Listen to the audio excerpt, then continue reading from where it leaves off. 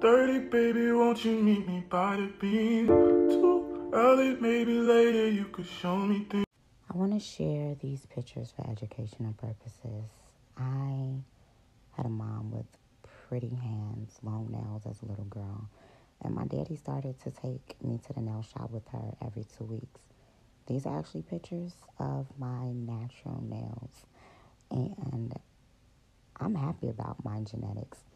I have long nails like my mom, and when we begin to stereotype black women as ghetto, for having long nails, all we are doing is perpetuating Eurocentric standards. I remember in the 90s, long nails was actually the thing. It was the go-to. Everybody had them. Hmm. Follow Ebonie on Instagram at nail underscore issues with a Z.